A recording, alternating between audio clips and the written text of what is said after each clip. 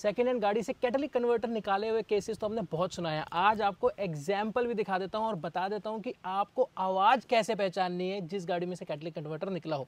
तो शुरू करते हैं और गाड़ी को स्टार्ट करते हैं। और उसके बाद देखिए अब।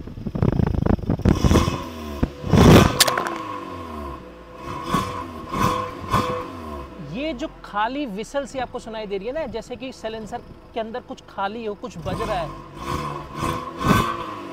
ये पहचान है किसी भी गाड़ी में से कि उसका कैटलिक कन्वर्टर निकला हुआ है। तो अगर कोई सेकेंड हैंड डीलर आपको ऐसी गाड़ी चेपने की कोशिश कर रहा है तो उससे कहना, ये चूना अपने चाचा को लगाएँ।